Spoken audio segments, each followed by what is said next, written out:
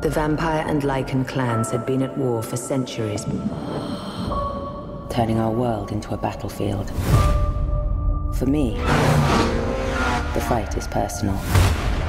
Everyone I've ever loved has been hunted down.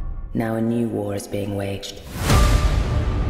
Selene, the Lycans are moving again. They have a new leader, Marius. I'm finished with this war. Well, it's not finished with you. He wants the blood of you and your daughter. Even I don't know where she is.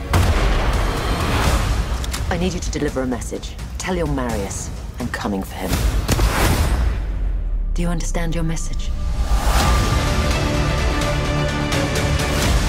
We need Selene to end the war.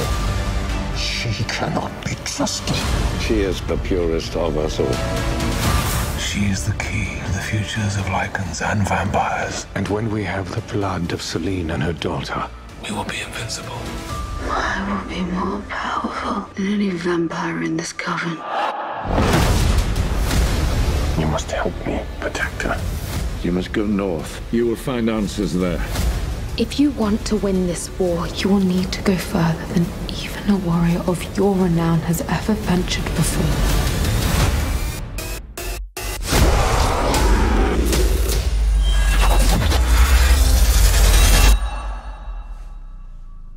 Impossible.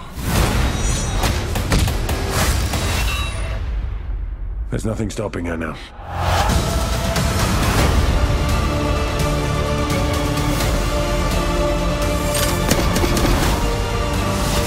There are too many of them.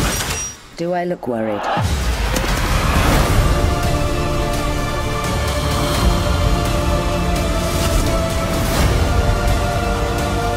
All I want is your blood.